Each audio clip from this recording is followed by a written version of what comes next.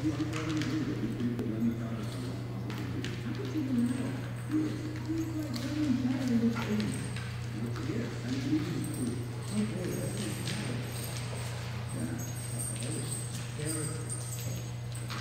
comfortable with who you are.